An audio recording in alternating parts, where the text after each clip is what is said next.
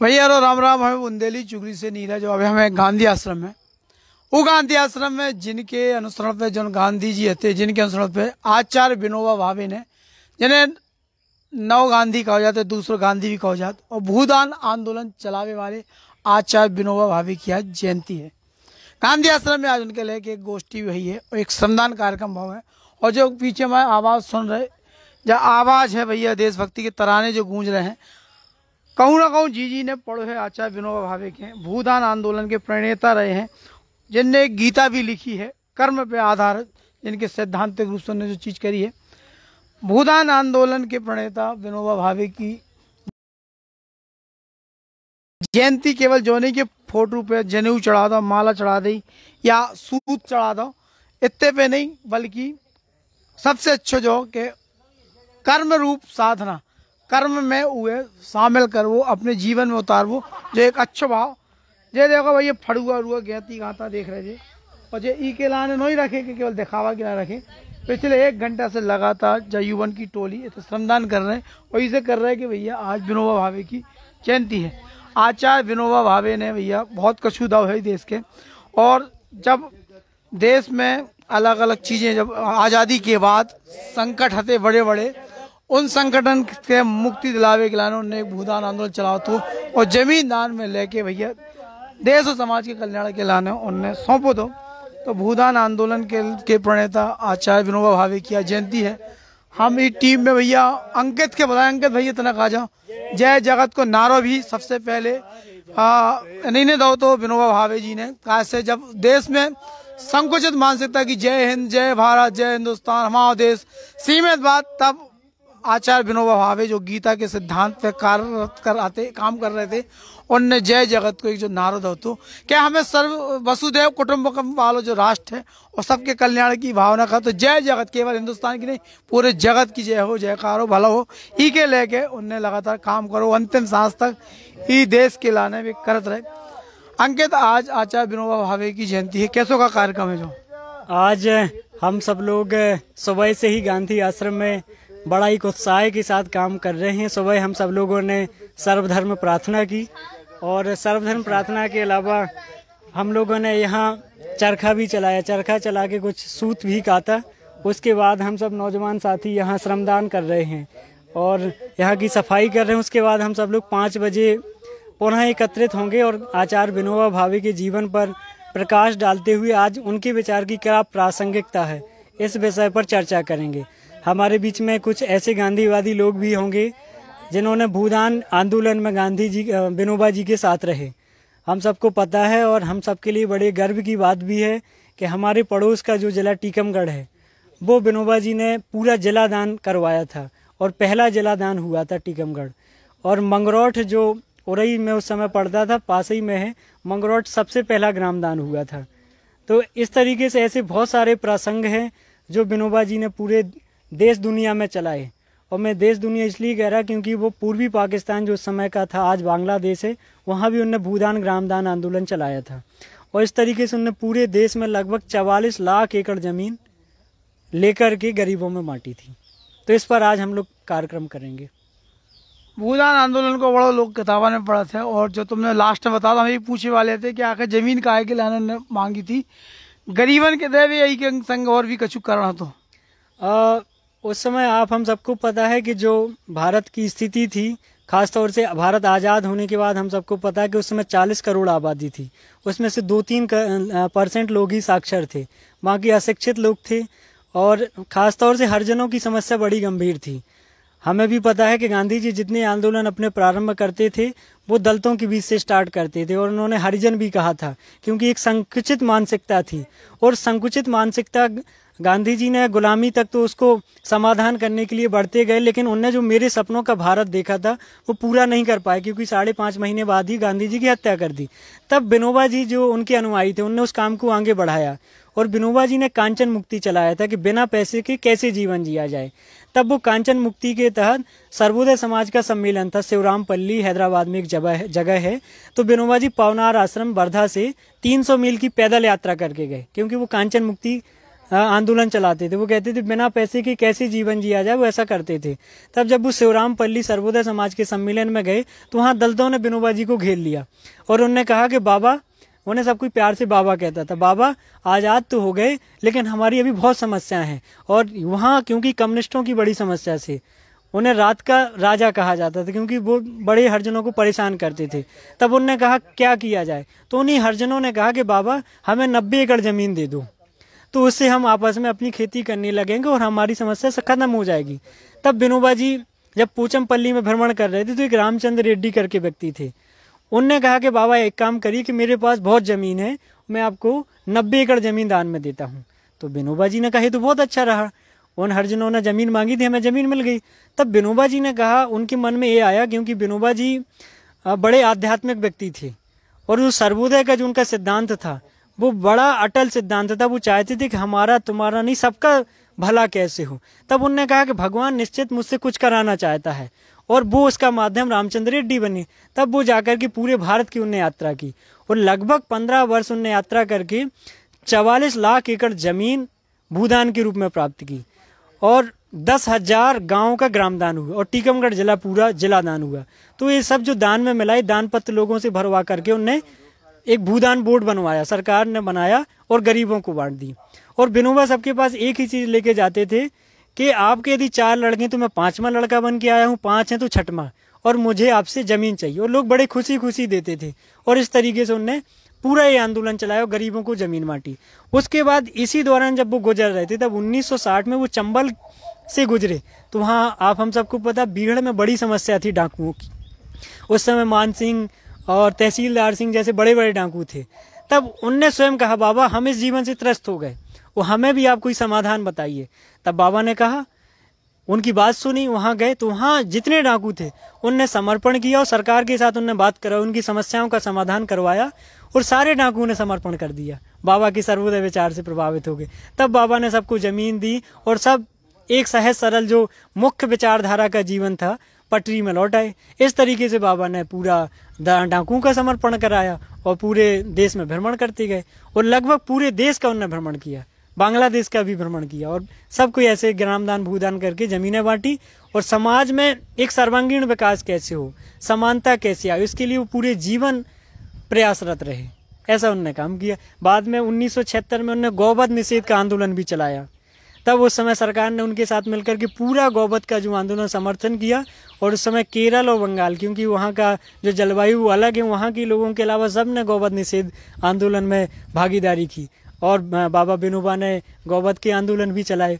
उसके बाद शराबबंदी का आंदोलन भी चलाए, बहुत सारे आंदोलन चलाए, क्योंकि गांधी जी के बाद जो गांधी जी का सपना था सर्वोदय समाज का, वो बिनोबा ने आगे जाकर आगे आए और बढ़ा, बढ़ाते गए, काम करते गए लोगों के बीच में।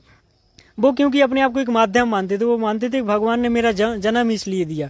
और बहुत सारे प्रयोग भी जीवन में करते गए। और हरिजनों को खासतौर से उनसे एक बड़ी आशा रहती थी। वो उनके आ, आ, आ, पास में आकर के एक बट वृक्ष मानते थे कि इनकी छाया में बैठ के हमें कुछ ना कुछ ज़रूर मिलेगा।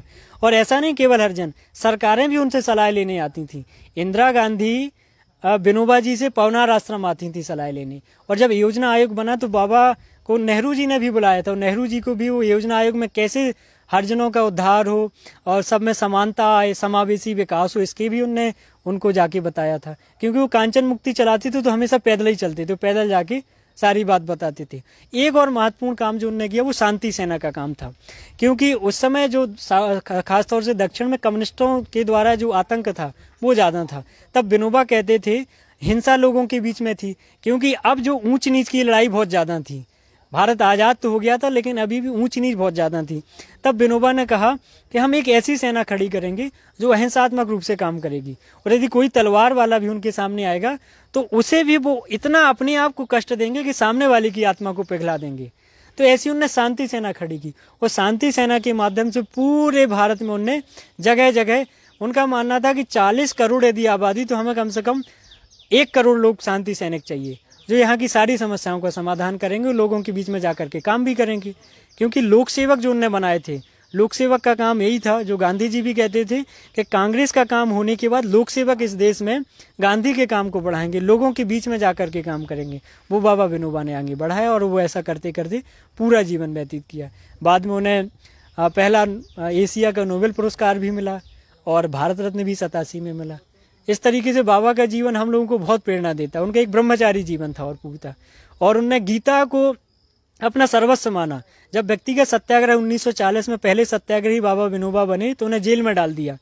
तब बाबा विनोबा जब जेल में थे, तब उनने गीता को पढ़ा और गीता, उनने पढ़े बहुत सारे उपनिषद हैं। कम से कम अठारह भाषाएँ उन्हें आती थीं। और उनने गीता पर गीताई लिखी। गीताई मतलब गीता माँ, क्योंकि मराठी में आई मतलब माँ होता। और उनने कहा कि गीता एक ऐसी चीज़ है, मेरी माँ से बढ़कर भी है, क्योंकि मुझे सब कुछ देती है।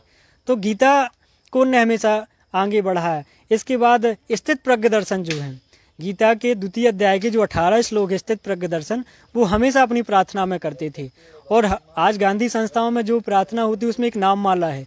वो भी विनोबा जी ने कई धर्मों से मिला करके उसको बनाया। ऐसा बाबा विनो विनोबा का एक सर्वधर्म संभाव का जीवन था जो आज भी हम सब लोगों को बहुत प्रेरणा देता है और आज के जहाँ भी हिंसा का माहौल थे वहाँ बाबा विनोबा और गांधी जी का जो विचार है वो हम लोगों को एक रास्ता भी दिखाता है। गीताई मिशन भी एक चलत रहो मैं सुनी थी गीताई मिशन भी नाम सुने हैं वो वो मिशन को का मतलब है? वो अभी जो पावनार जब हम लोग सेवाग्राम आश्रम जाते हैं तो विनोबा जी का जो म्यूज़ियम है, जहाँ विनोबा जी का संग्रहालय है तो वहाँ पर है गीता मंदिर करके। तो उसी के माध्यम से वो चलाया गया था, क्योंकि विनोबा जी ने जो वहाँ उनने पूरी गीता लिखी भी है, अपने उसमें पढ़ने के बाद गीताई लिखी तो उसको वहाँ पूरे उनका जो गीता मंदिर है, वो गोखुर की आकृति का है। ऊपर से जब देखते सेटल मतलब ड्रोन से तो गोखोर आकृति का है, पूरा बना, पत्थर में है, और पत्थर में अंकित है पूरा। इस तरीके से उन्होंने मिशन बनाया। और सबसे बड़ी बात यह है कि उस समय के जो बड़े उद्योगपति थे, बजाज और बिरला, आज हम जब सेवाग्राम आश्रम वर्धा जाते हैं तो वहाँ देखते हैं कि जो बजाज और बिरला परिवार है, उनने इनको अपना कुल गुरु तक माना है, और उनकी पूजा इस तरीके से की है। तो वहाँ के लोगों के लिए तो आज वो भगवान की तरह भी हैं। और लेकिन वो अपने आप को भगवान कभी कहते थे हमेशा कि हमें भगवान मत मानिए, लेकिन जो विचार हैं, उनमें यदि कमियाँ हैं तो कमियाँ भी निकालिए। लेकिन जो समावेशता का सिद्धांत वो महत्वपूर्ण है। कि लोगों को एकजुट कैसे करें? जो ऊंच नीच, जात, पात, धर्म, छुआछूत की खाई है, वो खत्म होना चाहिए। ये सिद्धांत था उनका।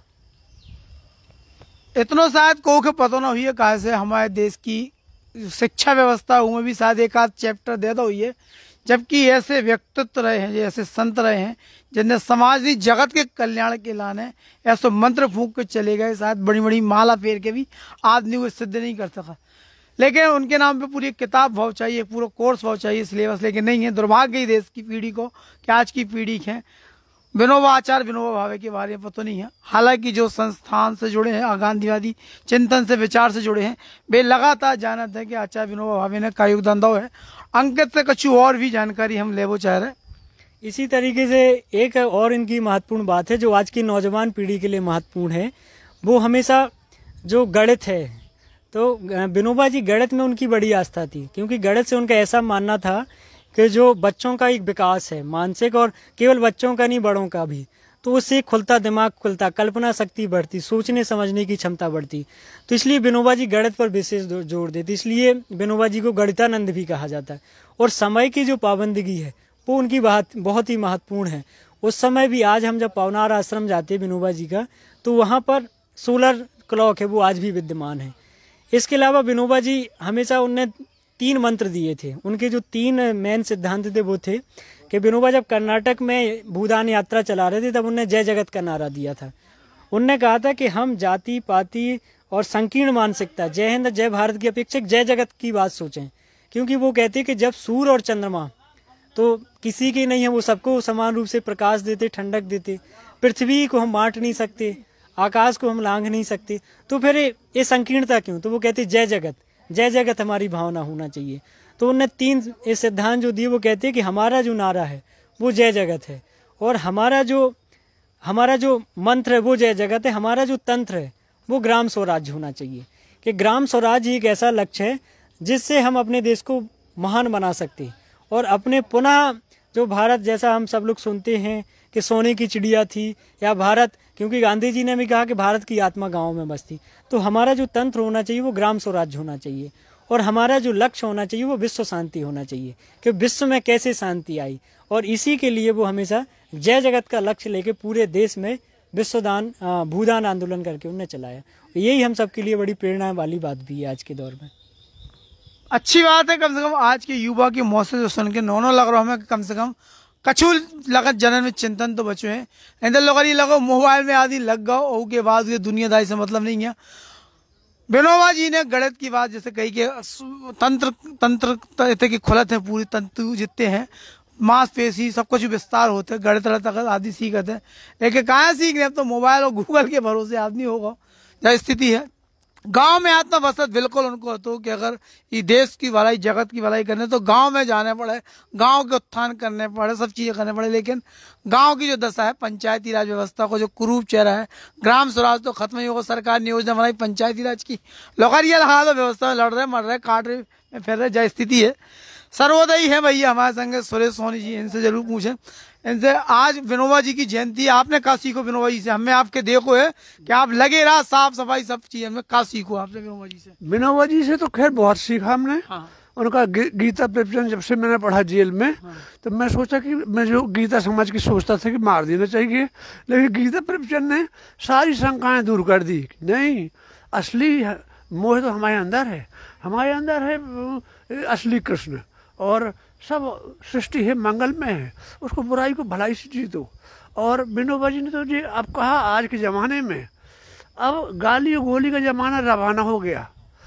बुरे काम में सफल होने के बजाय अच्छे काम में असफल होना ज़्यादा अच्छा है। अच्छा काम भले ही ना हो पाए, लेकिन बुरा काम ना करो।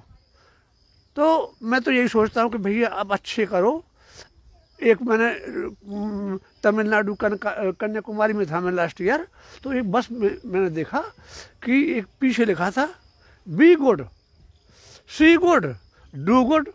मैंने कहा यार कितनी अच्छी बात लिखी। बी गुड पहले अच्छे बनो फिर सी गुड अच्छा कहो और फिर अच्छा करो। तीनों में तो बहुत बढ़िया बात है। यही अकेला संदेश है। और ग- विनोबा जी तो कहते सब सबकी जय हो। समझे? अगर किसी की बुराई देखना है पहले हम अपनी देखें है? एक ही खता हम ज़िंदगी भर करते रहे और धूल चेहरे पे थी आईना साफ़ करते रहे। हम इधर की धूल नहीं साफ़ करते हैं दूसरे को चमकाते हैं। गांधी जी भी बहुत बड़े हमारे गुरु हैं। जान मानने वाले उनको भी बहुत बड़ा गुरु मानते हैं। आइंस्टीन जैसे कहते हैं कि ऐसा आदमी दसियों हज़ार साल विश्वास न करेगा कि ऐसा हाड़ मास का आदमी रहा होगा। तो गांधी ने तो कह दिया है।